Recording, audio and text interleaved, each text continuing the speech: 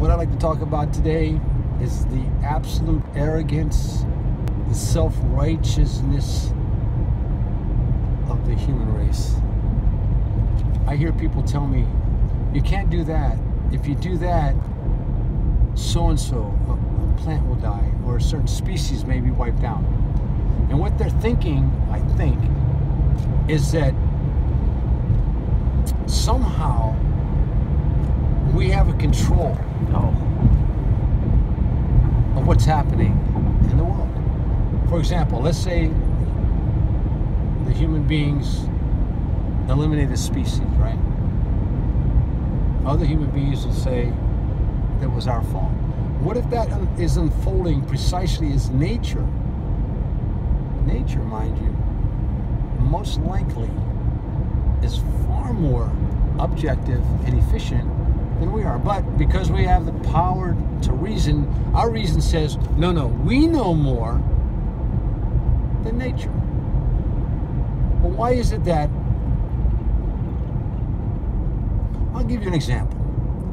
I raised pigeons, racing pigeons for a while. Don't freak out because I raced them and I was, get the fuck. Anyway, this one hen, they lay two eggs, pushed an egg out of the nest. So I didn't know if it came out of the nest because maybe a fight had occurred in there and it got out of there. I put it back in. Next day it's out again. I'm like, what the hell? So I thought to myself, she didn't want that egg. I wonder if something's wrong with the baby. So I incubated the egg, raised it, and sure enough, the baby was deformed and died. Now, how did she know that when it was inside the eggshell?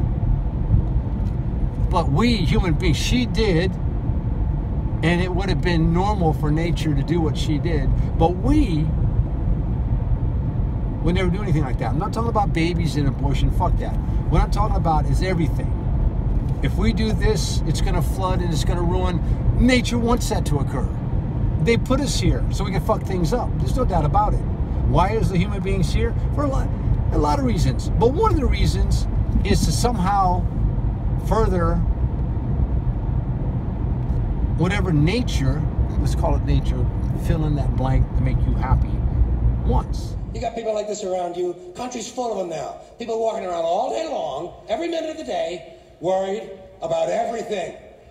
Worried about the air, worried about the water, worried about the soil. Worried about insecticides, pesticides, food additives, carcinogens. Worried about radon gas, worried about asbestos. Worried about saving endangered species.